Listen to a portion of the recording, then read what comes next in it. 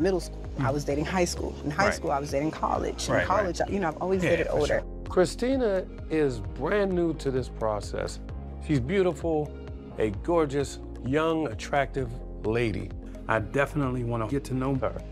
I love to hear a man that when they know what they want, Oh, yeah. they go after it. Yeah, So they I- be like, I want you. I want you. Right, I would definitely come after you. Really? Yeah.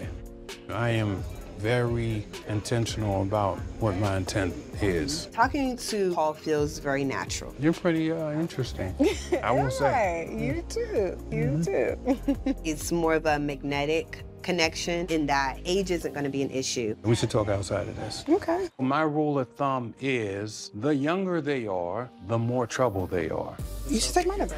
However, it's almost like she has this old soul to her, and that is like super attractive. Yeah, you are definitely gorgeous. I would Thank love to have a date with you. Yes. What we got? So you like pasta? I love pasta. Well, we definitely got a shrimp pasta. Okay, and that's my favorite. Like I love shrimp Is pasta. it? Yes. The hit dating series returns. Subscribe to our channel for more Ready to Love.